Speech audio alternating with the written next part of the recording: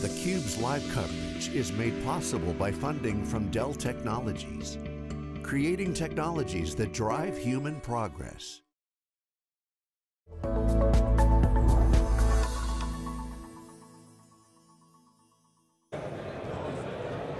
Good evening from Fira Barcelona in Spain. It's Lisa Martin and Dave Vellante. We are covering with theCUBE MWC 23. This is day three, three full days almost of coverage we've given you. And don't worry, we've got a great conversation next and another day tomorrow. We're going to be talking with Singtel and Dell next about 5G, network slicing, sexy stuff. Please welcome Dennis Wong, VP Enterprise 5G and Platform from Singtel. And Douglas Lieberman is back with us, our alumni, Global Senior Director, GTM and Co-Creation Services, Telecom Systems Business at Dell. Welcome guys, great to have you. Thank, Thank you for having us. So Dennis, go ahead and start with you. Talk to the audience about Singtel. You've got a unique insight into some of the challenges that 5G brings and the opportunities. What is Singtel seeing there? I think from a Singtel perspective, I think 5G technology brings about a new era of opportunities for all the enterprises, you know, from big to small. I think that's one thing that we are we're aiming to do. How do we put technology together? And that's why I think that 5G brings about a lot more capabilities, a lot more parameters that, you know, for the new technology, new devices, new services that we can explore. I mean, we are giving ourselves a new opportunity to try something that's better than Wi-Fi, that's better than 4G. So I think that's something very exciting for me. What are some of the challenges that you see that are, that you look to partners like Dell to help wipe off the table? I think one of the things that uh, Dell has uh, been doing very closely with us, I think uh, in terms of the network technology, in terms of the RAN, in terms of the uh, you know kind of virtualization, in terms of marketplace, in terms of ecosystem, they are all over the place. So I think for them, they are not looking at just hardware, they are looking at how to support us as a, as a whole ecosystem to work things together. You know, it's interesting because it's maybe an overused term, but everyone talks about 5G being the enterprise G. Mm. And, and really, what's interesting about 5G and where Dell is really able to add value and working with partners like Singtel is the disaggregation of 5G and the open side of it and the ability to take different workloads and customize them because of the fact that the whole packet core and the CU and the DU and that, and that architecture is not locked into a single, single proprietary architecture, allows for customization and injection of workloads and, and allows enterprises to really tune the network to what their workloads need to be. So I wonder, Dennis, can you take us through the anatomy of a 5G deployment? How does it work? Do you start with a sort of greenfield, sort of test bed? How do you connect it to your, your 4G networks? Take us through mm. the process. Maybe I will go through from a customer lens. What does a customer think? And what does the customer feels about when we approach them for 5G? I think for most of the customers who are thinking about 5G, they are usually already having some kind of a services that's running on the current technology. Could be 4G, could be Wi-Fi. Uh, one very typical example that I can share with you is that one of the customers, he was saying that, I'm having Wi-Fi already. Can you prove to me that 5G is better? So what we did was that we actually uh, rolled out our this little proprietary uh, 5G in the box. We call it 5G Genie. A Genie stands for Generating Instant Experience, very interesting name. We pushed that to the customer place. Within 30 minutes, he set up a 5G connectivity in his area and he tested his performance of his Wi-Fi with the Genie on the spot. And immediately, wow, he see that there's a lot of difference in the performance. Now, so the first part is really about getting the customer to feel that why 5G is truly better. Let them experience it. Then after which, we went through with them. Because of this performance, how does it, what does it do to your business from a productivity perspective, security perspective, safety perspective, and they kind of look at it and say, wow, that's where the ROI comes from. And after which, then is where I think, uh, you know, where Dave says, you know, it comes in whereby then we will design, if it's a factory, we have to design the coverage in the factory because robots are moving. You want to ensure that every part of the of the uh, factories have the coverage. So we have to design it, we have to build it, put in all the controls and put in all the devices. And then after which, you know, then all things will go. And of course, from a customer perspective, they will still need to run the application. Need to check that the, the performance is, is, is uh, you know, up to the mark. So I think in, in all, the 5G journey is not really just about putting the network and here, customer, let's use it. There's a lot of conviction, there's a lot of testing, there's a lot of what we call trial and error with the customer. Yeah. So that, that, thank you for that explanation. So that's, they were going to make a business case and they're going to see immediate performance improvements. Then, I presume they're going to start building new applications on top. And then maybe that'll negatively affect the performance, but that's okay. It's like we were talking about the other day. There's so much yeah. data pumping in. You get equivalent performance, but so much more capability. So how, how are you guys thinking about that ultimate layer where that value is, the, the application, the workloads that are going to be new to these well, you know, if we take a networks. step back and talk about, for example, the use case he just talked about, which was in you know autonomous vehicles or robots inside a factory.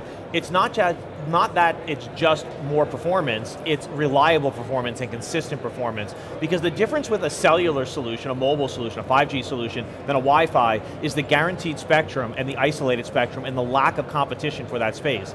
I mean, I tell people this all the time, and you can see it right now. If you were to open your phone and look at all the Wi-Fi hotspots that exist right here, there is an enormous amount of contention for the exact same spectrum, mm. and we're all competing with each other. I can't get on the network. Right, and so the more people that walk past us in this queue, the more that there's going to be interference. And so the, the, the, performance is not guaranteed. And if you have an automated factory, if you have machines that are moving around a factory, if you have robots that need to work together, you can't afford for it to be great one minute and lousy the next minute. You need consistent high performance, and that's where these 5G networks and private 5G networks are really, really important, because it's not just about faster. Sometimes it, it's not all about can I get it there faster, it's I want it faster, but reliably and consistently, and make sure I get the same experience every time, so that I can then build more intricate and complicated applications.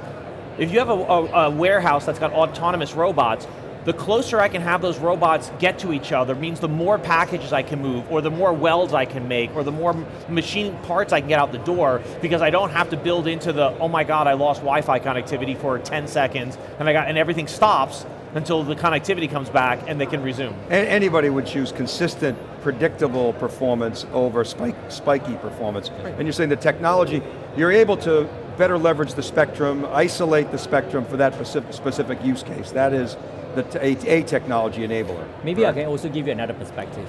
Together with the 5G technology is where the uh, multi-edge computing comes into place. And that's where I think one of the things that we work very closely with uh, Dell as well. Because that is very important. With that compute at the edge, means that your latency is low. And like what you say, it's not just low latency, it's consistent, consistently low latency. Today, uh, let's say in Singapore, uh, Singapore is a very small city. You can travel from one end of the city to the other end in, in one and a half hour and that's it. If Singapore no is over. If there's no traffic. How, so everyone was saying Singapore is such a small city. Why would you need an edge? So I explained to them, we did a test from a cloud gaming perspective. As we use 4G over the public cloud, it's true that you can get about 10, 15, 20 milliseconds, you know, on a good day, but it's on an average, it's about 15, 20 milliseconds. However, you will find that there are times whereby it spikes to 150, spikes to 90, spikes to 200. So you can see that it's not just about low latency, it's about consistent low latency. So that's where I think 5G and MEC come as a good pair to make sure that you know the performance for those factories or what we what um, you know kind of Doug has mentioned, the high performance you know synchronized services is very important. Besides packing the you know the drones or the robots to go close together, you want it to be synchronized. And you know, if you've seen some of those robots that work together, it's almost synchronized. That is the that's the one thing that uh, dreams that we're going to make sure that we're going to achieve. Yeah. And then of course on top of all that is security, which is really really important on all these. I mean the the vulnerabilities of Wi-Fi are well known. Um, there's a hundred different tools that you can download for free to test the security of any Wi-Fi network. Um, I got know, my VPN and it won't let me on the network. Right, yeah. exactly. um, you know, so the, the, the, benefit of a 5G solution, a 4G solution, is the added layer of security. I'm not saying that it's perfect, you know, there are obviously ways to get around those as well, but there are, every additional layer of security is one less attack vector that you have to worry about every single day. So, so Dennis, you're pro on the 5G adoption journey. You both have talked about the ostensible benefits there and then the capabilities. I want to understand how is Dell actually helping under the covers Singtel deliver this connectivity that and, and this consistency and the reliability that your customers expect? Yeah, I think uh, you know um, having all these services together. I think uh, other than just what we call the uh, 5G connectivity, like what you mentioned about the RAN, the disaggregated kind of services. I think that gives us a lot of uh, opportunity in terms of flexibility, in terms of cost. But I think one of the things that we also work closely together is about new technology. As I mentioned also that you know the marketplace or the partners that Dell brings, that's very, very important for us. And then for me, I think that if I look at again from a customer lens again, right? Having the kind of right equipment which we are working together with Dell is important, but I think having the right ecosystem that use the equipment is even more important. I will give you a very simple example. For any organization, for any services that you need to deploy, let's choose a SMB.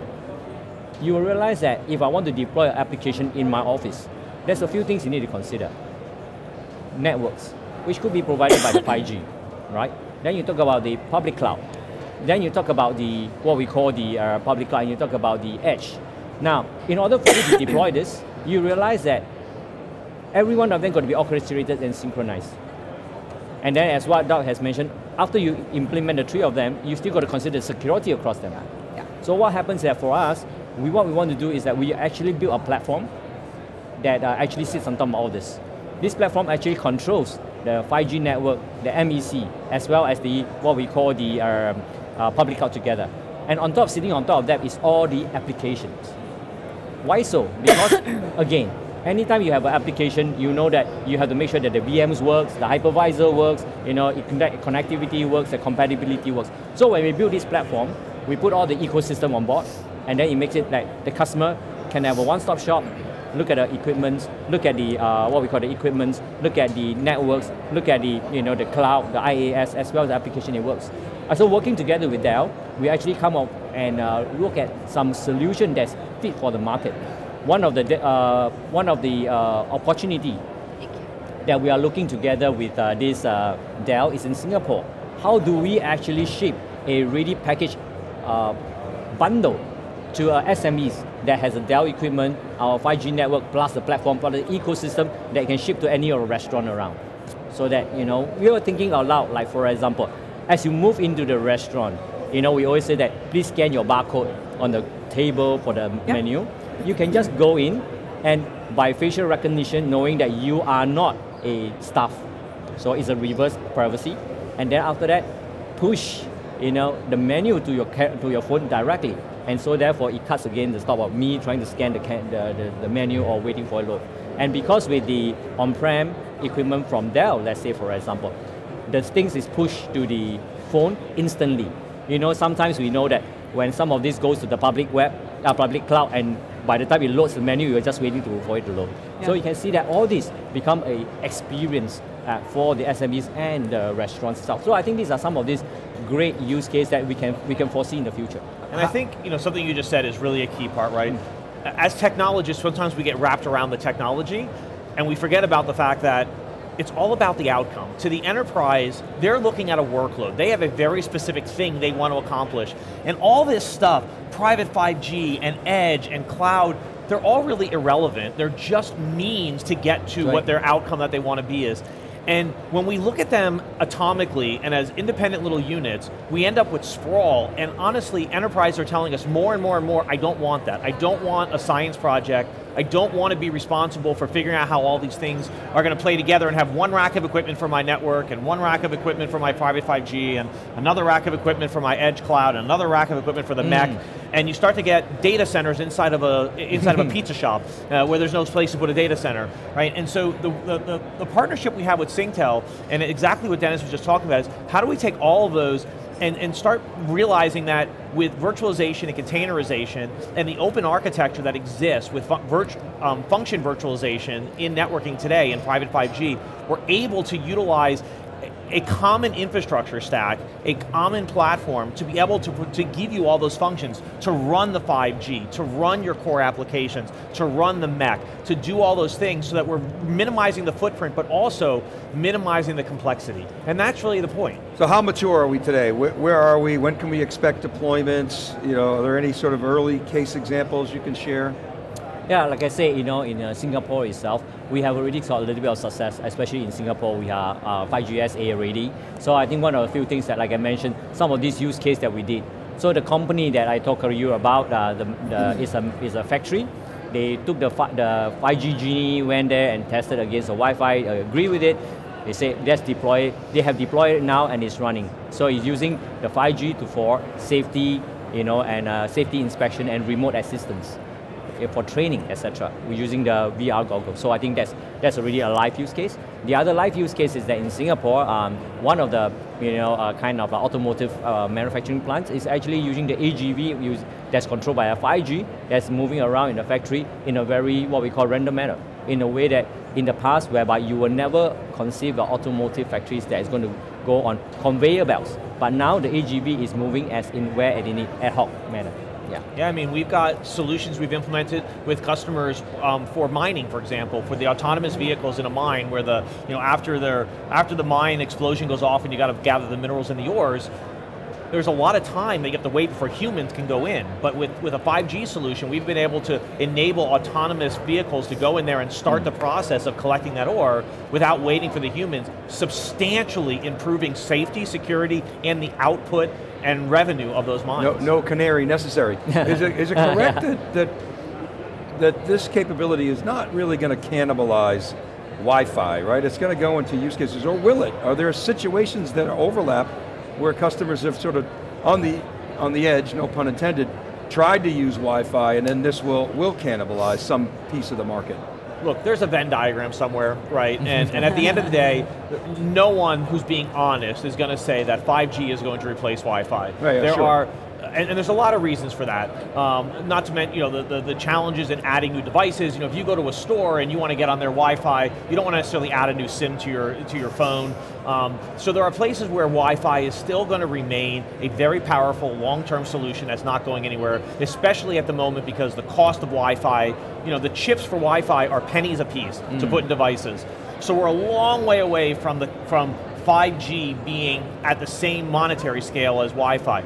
But there are a lot of use cases where, where Wi-Fi is simply doesn't work. I talked about that mining solution. Wi-Fi doesn't work in a mine. It's got the wrong physics properties, it's got the wrong distance limitation, there's all sorts of problems. And so what 5G has opened up is where in the past people tried to make Wi-Fi work and either gave up and ran wire or just dealt with constant problems like all their machines shutting down simultaneously 5G is enabling them to now have a real solution that works. So it's carving out a niche for itself. In some places it's replacing Wi-Fi without a doubt because it is a better solution.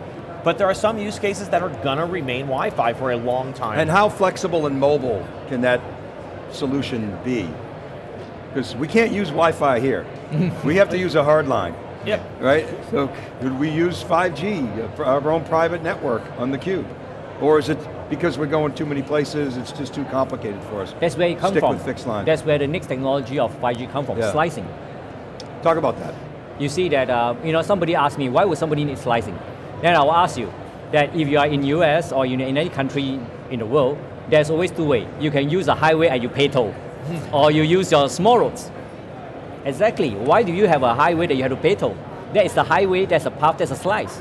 So for operators, we can always say that based on your mission criticality, based on the speed you want, based on the kind of urgency you need, I will give you a slice, and that you have to pay a premium for it.